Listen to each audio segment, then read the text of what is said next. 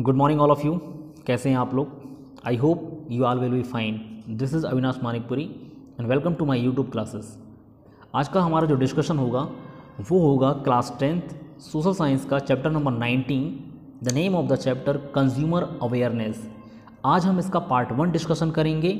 May be तीन part में इस चैप्टर को मैं कंप्लीट करने की कोशिश करूँगा. चैप्टर थोड़ा सा बड़ा है, ज़्यादा बड़ा नहीं है, ठीक है? लेकिन इंपॉर्टेंट चैप्टर है. ये चैप्टर आपके रिड्यूस सिलेबस में नहीं है, यानी ये चैप्टर आपके एग्ज़ाम में आएगा। ठीक है? तो सबसे पहले हम कंज्यूमर अवेयरनेस का मतलब समझते हैं कि what is the means of consumer awareness ठीक है? कंज्यूमर को हम बेटा उपभोक्ता कहते हैं। ठीक है? उपभोक्ता का मतलब क्या होता है कि वो लोग जो चीज़ों को उपभोग करते हैं, यानी चीज़ों को खरीदते हैं, चीज़ों का यूज़ करते हैं यूटिलाइज करते हैं। ठीक है? एंड अवेयरनेस अवेयरनेस का मतलब क्या है? जागरूकता। ठीक है? तो उपभोक्ता जागरूकता। कि उपभोक्ता का कंज्यूमर का जागरूक होना क्यों आवश्यक है? ठीक है, उन सारी चीज़ों के बारे में हम इसमें डिस्कशन करेंगे। तो मैंने आपको चैप्टर के नाम का मतलब तो स्पष्ट कर दिया। ठीक है, अब एक कंज्यूमर कौन होता है? जो प्रोड्यूसर से या सेलर से सामान खरीदता है। ठीक है, वो कंज्यूमर कहलाता है। अब थोड़ा सा हम अलग जाके देखें।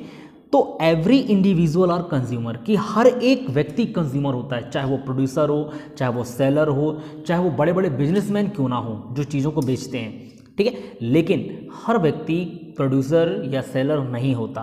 क्या मैंने कहा कि every individual are consumer but every individual are not a producer और सेलर कि हर व्यक्ति कंज्यूमर हो सकता है, होता है, लेकिन हर व्यक्ति प्रोड्यूसर नहीं हो सकता।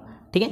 तो हम यहाँ पर देखेंगे कि इस चैप्टर में हम किस किस टॉपिक पर स्टडी करने वाले हैं। तो वी शैल लर्न सबसे पहले 19.1 देखिए जहाँ पर है नीड ऑफ़ कंज्यूमर अवेयरनेस की कंज्यूमर अवेयरनेस की नीड यानी ज़रूरत क्यों पड़ी? सेकेंड नंबर पर है type of exploitation of consumer कि कंज्यूमर का एक्सप्लोटेशन किस टाइप से किया जाता है? 19.3 जो है, वो है काजेज ऑफ़ कंज्यूमर एक्सप्लोटेशन कि कंज्यूमर एक्सप्लोटेशन के क्या काजेज हैं?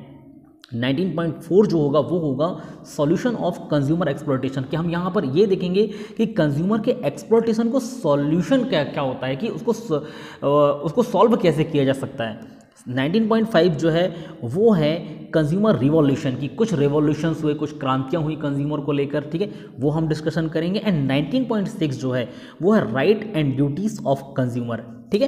तो ये तो चैप्टर का एक इंट्रोडक्शन था कि हम क्या क्या इस चैप्टर पर पढ़ने वाले हैं। ठीक? अब सबसे पहले आप यहाँ पर देखेंगे, जो मैं आपको शो करने की कोशिश कर रहा हूँ, ठीक है? कि यहाँ पर गवर्नमेंट ऑफ़ इंडिया का एक लोगो है, एक स्लोगन है, जागो ग्राहक जागो। ठीक है? आप देखिए इमेज में क्लियर आपको दिख रहा होगा कि जागो ग्राहक, जागो, ये गवर्नमेंट ऑफ़ इंडिया का स्लोगन है जो कि इंडिया के कंज्यूमर्स को दिया गया है। ठीक है? यहीं पर यदि आपको किसी दुकानदार से शिकायत होती है या फिर कोई आपके साथ मिलावटी वाला काम कर रहा है, घटिया सामान दे रहा है, कम वेट तोल रहा है, ज़्यादा चार्ज कर रहा है एमआरपी से तो इन सारी चीज़ों से बचने के लिए ये एक हेल्पलाइन नंबर है। जिसको हम कंज्यूमर हेल्पलाइन नंबर कहते हैं कि यहाँ पर आप फ़ोन लगाकर इनकी शिकायत कर सकते हैं। देखिए, ये नंबर है one eight zero zero one one four zero zero zero ठीक है? और ये जो नंबर्स हैं, ये ministry of consumer affair food and public distribution की तरफ़ से लागू किया गया है सारे लोगों के लिए। ठीक है? तो ये एक जानकारी थी जो मैं आप लोगों को देना चाह रहा था, जो मैंने आप लोगों को दिया।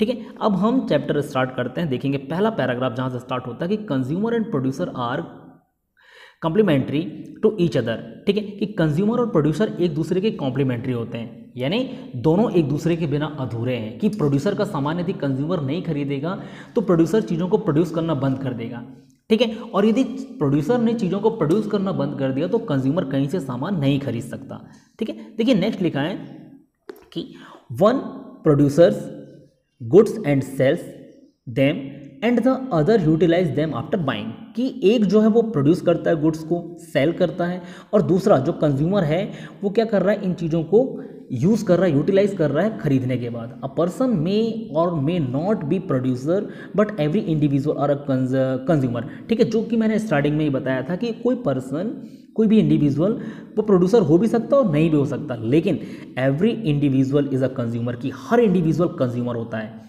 As soon as person buy final product and service to satisfy his, her need.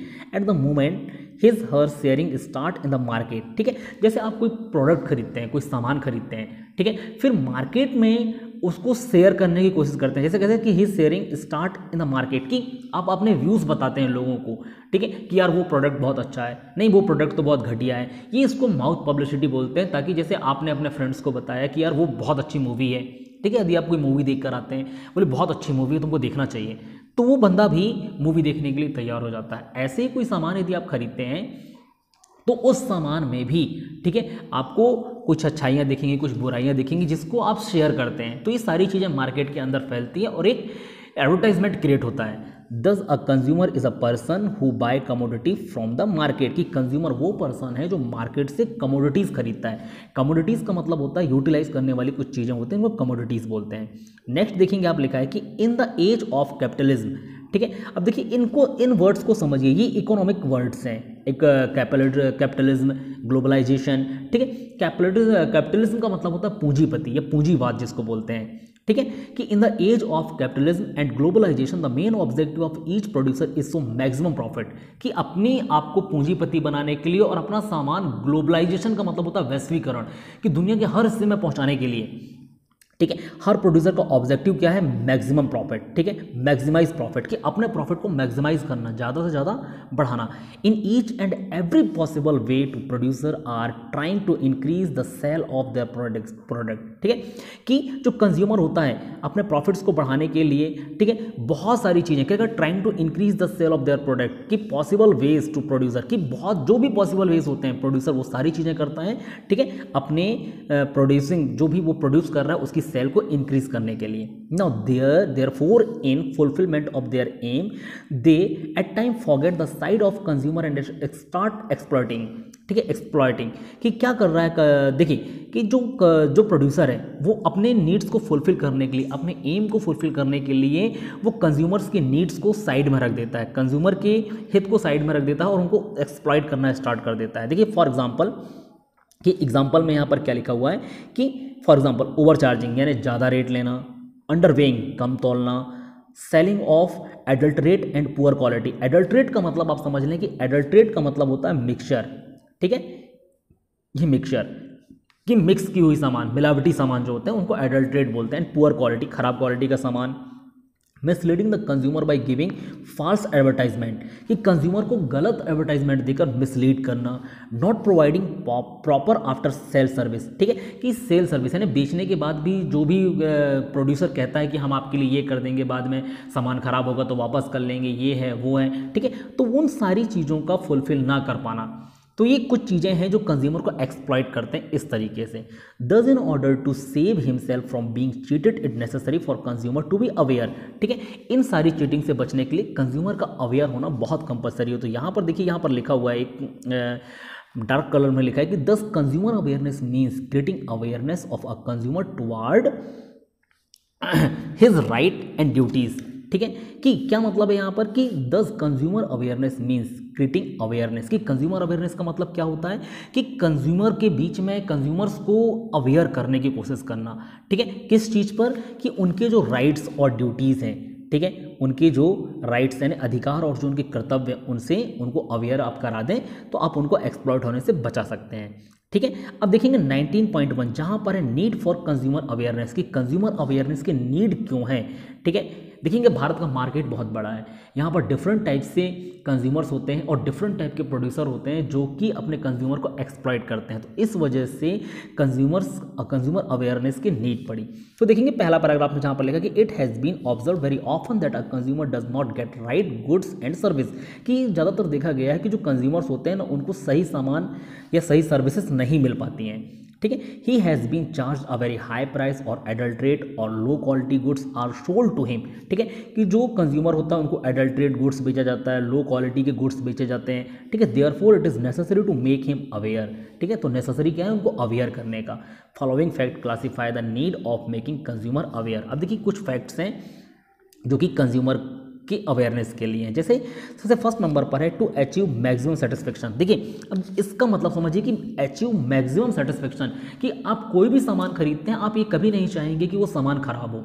ठीक है? आपको सेटिस्फेक्शन चाहिए, आपको हमेशा लगता है कि मैं अच्छा से अच्छा सामान खरीदूं, ठीक है? तो ये कहलाता है मैक्सिमम सेटिस्फेक्शन तो अवेयर होना क्यों ज़रूरी है? कि अपने सेटिस्फेक्शन को मैक्सिमम करने के लिए। तो यहाँ लिखा है कि the income of every individual is limited अब देखिए, हर व्यक्ति की जो इनकम है, वो लिमिटेड ही होती है, ठीक है?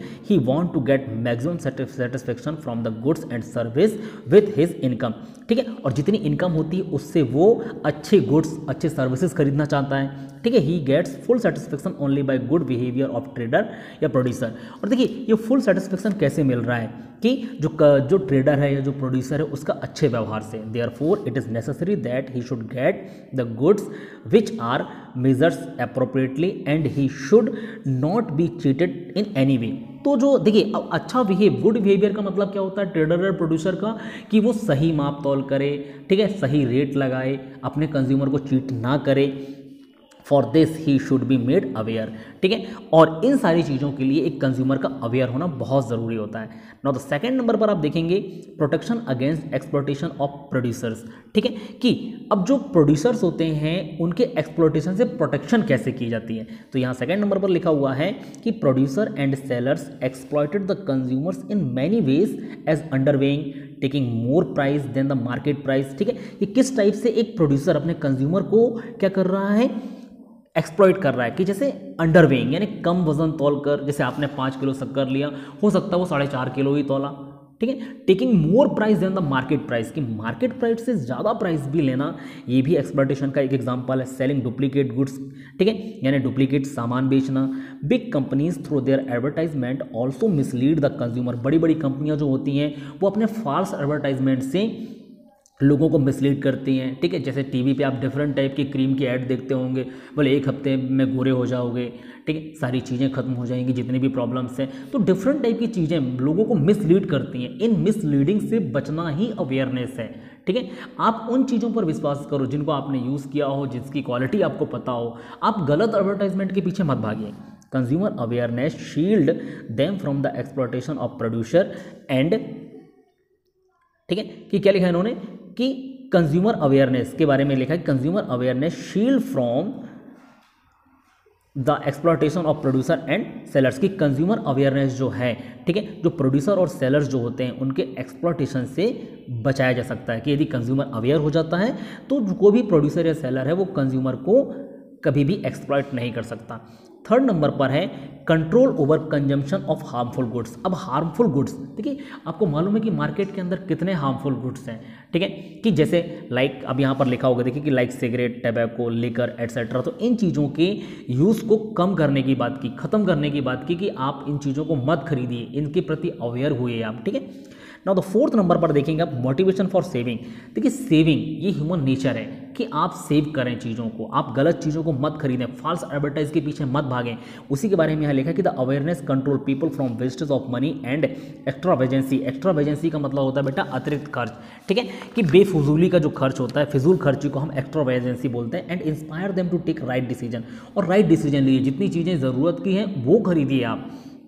Such consumers articles which are really of good quality and not merely attractive should be brought, not get attacked by advertisement of concession, free gift attractive packing. तो यहाँ पर ये बोला कि कंज्यूमर को ऐसा होना चाहिए कि फॉल्स एडवर्टाइजमेंट में अट्रैक्टिव जो एडवर्टाइजमेंट होते हैं लाइक कंसेशन मिल रहा है, ठीक है गिफ्ट्स मिल रहे हैं अट्रैक्टिव पैकिंग है तो इन चीज़ों से उनको डिस्ट्रैक्ट नहीं होना चाहिए कंज्यूमर को, ठीक है? Thus people can use their income in a right way and can save more कि अपने इनकम को एक राइट वे पर उनको लाना चाहिए और ज़्यादा से ज़्यादा मनी जो है वो सेव करना चाहिए। फिफ्थ नंबर पर आप देखेंगे कि knowledge regarding solution to problems कि प्रॉब्लम्स के सॉल्यूशन के रिगार्डिंग क्या नॉलेज होना चाहिए। तो यहाँ लिखा है the consumer class is treated due to illiteracy innocence and lack of information कि कंज्यूमर जो है, वो चीटेड वो कंज्यूमर एक्सप्लॉइट क्यों हो रहा है? चीट क्यों हो रहा है एक प्रोड्यूसर से? तो due to illiteracy innocence and lack of information कि इलिटरेसी यानी अशिक्षा है इनोसेंस यानी भोले भाले कंज्यूमर हैं, और इन्फॉर्मेशन नहीं हो पाता पूरा। Therefore it become necessary that the information about their rights should be provided to them so that they can not be treated by producer and sellers कि उनको, उनके राइट्स बताने चाहिए। ठीक है, उनके राइट्स के प्रति अवेयर करना चाहिए, उनकी ड्यूटीज़ के प्रति अवेयर करना चाहिए कि क्या अधिकार होता है एक कंज्यूमर का।